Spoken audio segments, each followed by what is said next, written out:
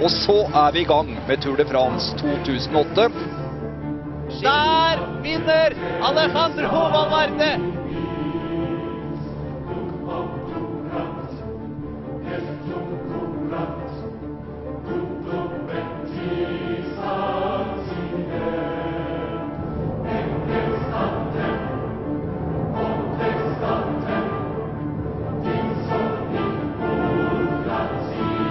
Ricardo Ricot var omringet da det ble klart at han hadde testet positivt på et FFU-lignende stopp.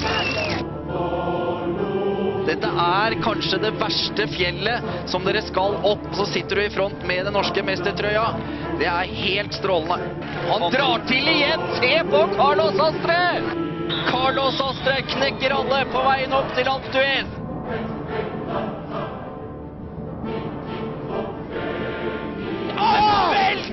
Nei og nei! Det er såpeglatt! Det gjør ikke Ruben Perez. da gikk Schumacher. Nei, men i salen. er det mulig?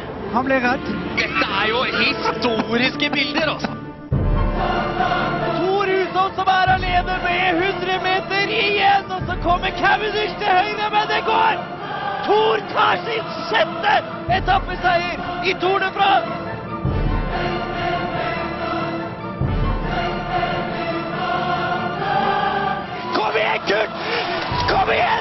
Inn til gata! Kom igjen, kom igjen! Kom, kom, kom, kom, kom, kom, kom! Ja!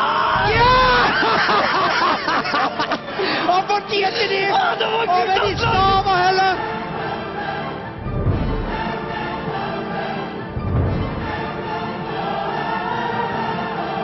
Og Stegmann har et voldsomt trøkk i pedalene! Det er ingen som foreløpig er oppe på sida! Og til. Og så kommer Robbie McEwen! Men det blir Gert Stegmann!